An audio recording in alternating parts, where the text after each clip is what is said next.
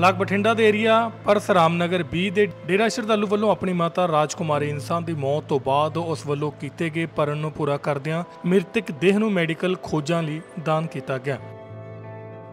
ਪ੍ਰਾਪਤ ਵੇਰਵਿਆਂ ਅਨੁਸਾਰ ਸੇਵਾਦਾਰ ਮਾਤਾ ਰਾਜਕੁਮਾਰੀ ਇਨਸਾ, ਬਠਿੰਡਾ ਦੇ ਦੇਹਾਂਤ ਤੋਂ ਬਾਅਦ ਉਹਨਾਂ ਦੇ ਬੇਟੇ ਕੁਲਦੀਪ ਇਨਸਾ ਨੂੰ ਮੀਨਾ ਰਾਣੀ ਇਨਸਾ ਅਤੇ ਹੋਰ ਪਰਿਵਾਰਕ ਮੈਂਬਰਾਂ ਨੇ ਅੰਤਿਮ ਸੰਸਕਾਰ ਕਰਨ ਦੀ ਬਜਾਏ ਸਰੀਰ ਨੂੰ ਮੈਡੀਕਲ ਖੋਜਾਂ ਦੇ ਲਈ world college of medical science ਅਤੇ ਰਿਸਰਚ ਗੁਰਾਵਰ ਝੱਜਰ ਹਰਿਆਣਾ ਨੂੰ ਦਾਨ ਕੀਤਾ ਹੈ।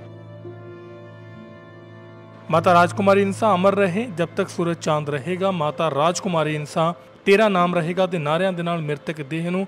ਰਿਸ਼ਤੇਦਾਰਾਂ, ਸਨੇਹੀਆਂ ਅਤੇ ਬਲਾਕ ਦੀ ਸਾਧ ਸੰਗਤ ਤੋਂ ਇਲਾਵਾ ਇਲਾਕਾ ਨਿਵਾਸੀਆਂ ਨੇ ਮ੍ਰਿਤਕ ਦੇ ਨਿਵਾਸ ਸਥਾਨ ਤੋਂ ਕਾਫਲੇ ਦੇ ਰੂਪ ਵਿੱਚ ਅੰਤਿਮ ਵਿਦਾਇਗੀ ਦਿੱਤੀ।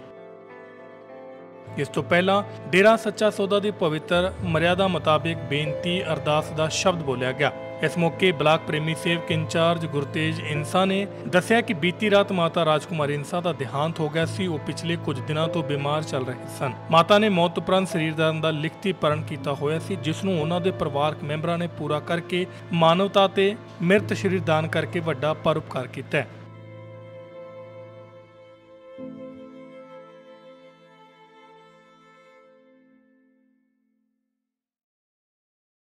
ਅੱਜ ਜੋ ਮਾਤਾ ਰਾਜਕੁਮਾਰੀ ਜੀ ਇੰਸਾਂ ਸਾਡੇ ਵਿਚਕਾਰ ਕੁਝ ਦਿਨ ਪਹਿਲਾਂ ਇਹ ਆਪਣੀ ਸਵਾਸਾਂ ਦੀ ਪੂੰਜੀ ਪੂਰੀ ਕਰਦੇ ਹੋਏ ਸੱਚਖੰਡ ਵਿੱਚ ਸ਼ਹਿਨशाह ਦੇ ਚਰਨਾਂ ਜਾਣ ਵਾਜੇ ਹਨ।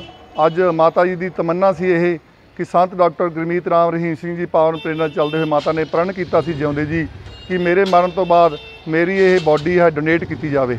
ਤਾਂ ਪਰਿਵਾਰ ਨੇ ਅੱਜ ਇਹੀ ਫੈਸਲਾ ਲਿਆ ਕਿ ਮਾਤਾ ਦੀ ਦੀ ਜੋ ਬਾਡੀ ਹੈ ਡੋਨੇਟ ਕੀਤੀ ਜਾਵੇਗੀ। ਅੱਜ ਜੋ ਝੱਜਰ ਦੇ ਵਿੱਚ ਹਰਿਆਣੇ 'ਚ ਜੋ ਮੈਡੀਕਲ ਕਾਲਜ ਹੈ, ਇਹ ਉੱਥੇ ਬੋਡੀ ਡੋਨੇਟ ਕੀਤੀ ਜਾ ਰਹੀ ਹੈ, ਗਈ।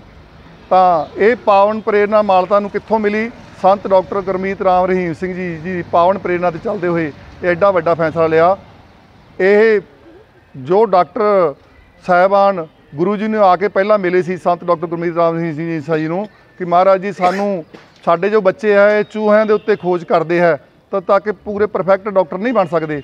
ਜੇ ਸਾਨੂੰ ਇਹ ਬਾਡੀ ਡੈੱਡ ਬਾਡੀ ਮਿਲ ਜਾਵੇ ਤਾਂ ਸਾਡੇ ਬੱਚੇ ਇਸ ਤੇ ਰਿਸਰਚ ਕਰਕੇ ਇੱਕ ਆਉਣ ਵਾਲੇ ਟਾਈਮ ਦੇ ਵਿੱਚ ਚੰਗੇ ਡਾਕਟਰ ਬਣ ਸਕਦੇ ਹਨ। ਤਾਂ ਸੰਤਾਂ ਨੇ ਉਹਨਾਂ ਦੇ ਪਰਉਪਕਾਰ ਨੂੰ ਸੁਣਿਆ, ਤਾਂ ਉਹੀ ਸੰਗਤ ਦੇ ਵਿੱਚ ਲਾਗੂ ਕੀਤਾ ਔਰ ਮਾਤਾ ਨੇ, ਪਰਿਵਾਰ ਨੇ ਅੱਜ ਉਹੀ ਬਚਨਾਂ ਦੇ ਉੱਤੇ ਫੁੱਲ ਚੜਾਉਂਦੇ ਹੋਏ ਅੱਜ ਬੋਡੀ ਡੋਨੇਟ ਕੀਤੀ ਗਈ ਹੈ। ਤਾਂ ਅਸੀਂ ਸ਼ੁਕਰਗੁਜ਼ਾਰ ਕਰਦੇ ਹਾਂ ਸੰਤ ਡਾਕਟਰ ਗੁਰਮੀਤ ਰਾਮ ਰਹੀਮ ਸਿੰਘ ਜੀ ਇੰਸਾਂ ਜੀ ਦਾ, ਜਿਨ੍ਹਾਂ ਦੀ ਪਾਵਨ ਪ੍ਰੇਰਣਾ ਦੇ ਚੱਲਦੇ ਹੋਏ ਸਮਾਜ ਸੁਧਰ ਰਿਹਾ ਹੈ। ਆਉਣ ਵਾਲੇ ਟਾਈਮ ਦੇ ਵਿੱਚ ਬਿਮਾਰੀਆਂ ਘਟ ਰਹੀਆਂ ਹਨ ਔਰ ਪਰਿਵਾਰ ਦਾ ਵੀ ਬਹੁਤ ਬਹੁਤ ਧੰਨਵਾਦ।